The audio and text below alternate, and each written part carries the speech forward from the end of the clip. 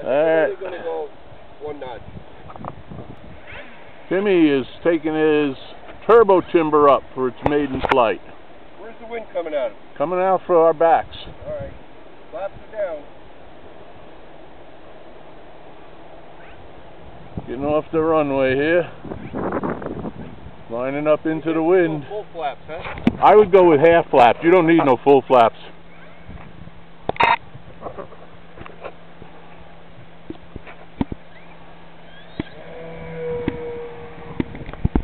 Up, up, and away. Wow. And my battery's going bad. Wow. Power is just phenomenal. The bigger motor, I'd buy another one.